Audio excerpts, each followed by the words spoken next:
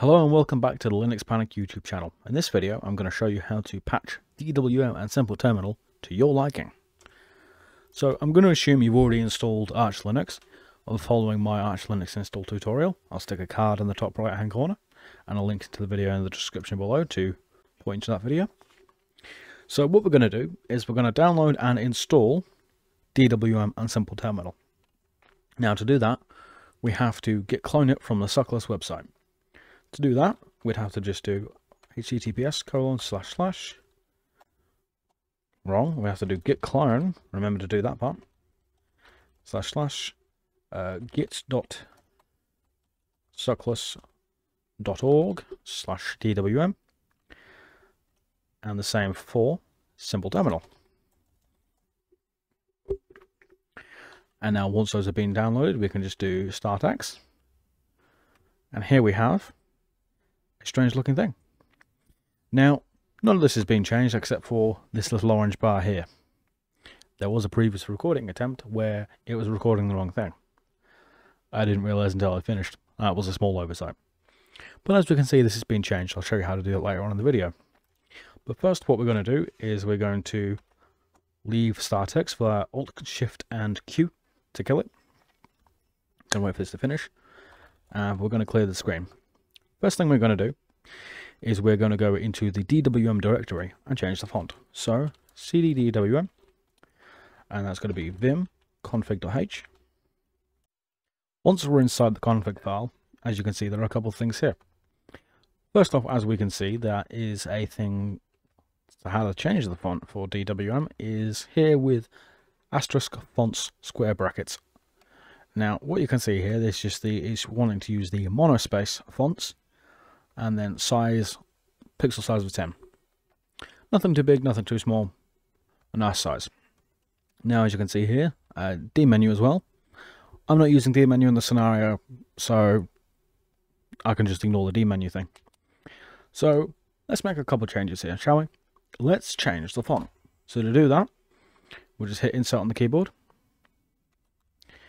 And then the font Vim will respond eventually. There we go. And now let's change this to something. Oh no, let's change it to. Let's change it to Aldo the Apache. So to do that, we just call it Aldo the Apache. You're probably wondering, Nick, what is Aldo the Apache? Well, that is a font that I found that I use in a couple places.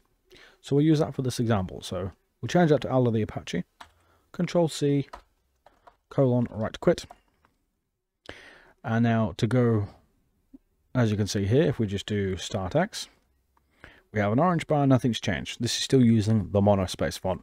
It also says, you also see this has one, one and two, and not nine. This is running from the previous video that I recorded and didn't I recorded the wrong thing. So I'll show you some scratch anyway. As you can see, this looks boring and just general blank. So to get out here, we Shift Alt and Q. Before we can do a make clean install, which will then make DWM from scratch, we need to go grab the font and install it in the correct place. Now, the correct place for that would be cd slash user slash share slash fonts. Now we're in the correct folder. We need to clone the Aldo the Apache font from my GitHub and that would do, be doing the follow. So git clone, how I spell clone correctly? Uh, https colon forward slash forward slash github.com slash nmatt1 slash aldo. This is going to download the Aldo font, so we now need to cd into Aldo. And now, as we can see here, we have two things, a .git file and aldo the apache.ttf. So what we want to do is we just want to copy Aldo the Aldo the Apache to slash user slash share slash fonts. And just a quick li. That is still there. But if we go back down one, do the same again, get to list the directory, we now see aldo the apache.ttf and we can remove the aldo uh, folder. So we're just going to do rm-r to say, hey, look, remove this recursively. So it removes everything and the directory. Aldo. Problem solved. No more Aldo the Apache. no, more Aldo folder, should I say. Now we have Aldo the Apache. We now need to cd back down to DWM. So cd DWM, make, clean, install. That's now rewritten it and reinstalled at DWM. To show you that, we'll just do start X. This has changed. Our bar is now black. The font has now changed. This is a weird looking font. But it works. Now, if I were to show you, oh, I don't know, the terminal, simple terminal, this has not changed.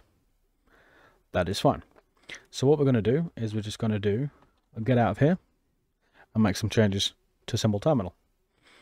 Now, admittedly, this is not too hard. This can be done by anyone. But once you make changes, you need to remember what to do.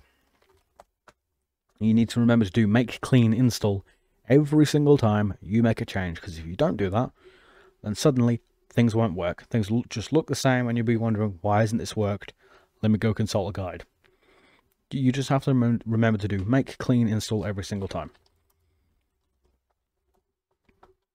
Now this has happened because when I uh,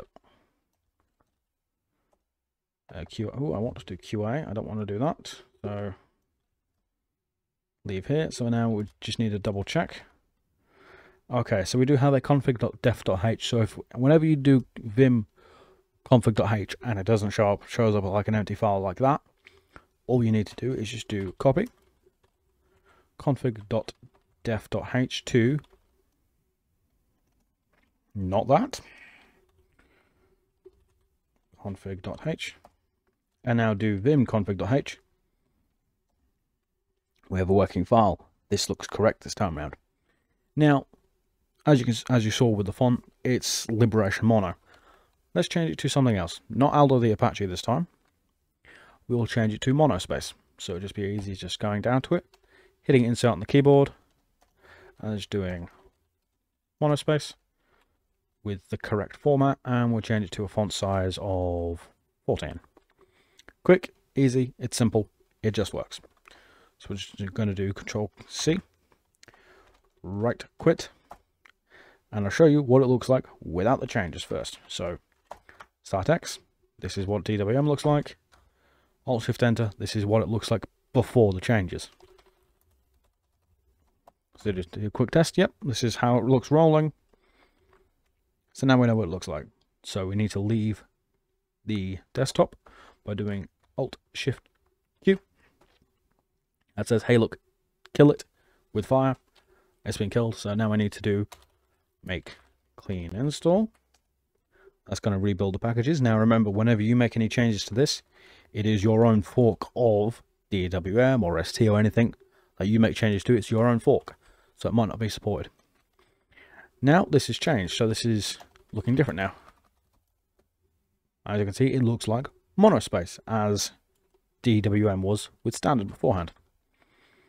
So now if I just type, now if I just go Alt Shift Enter and then just do Firefox. Because I already had Firefox installed beforehand, it'll then just kick into gear in a couple of seconds.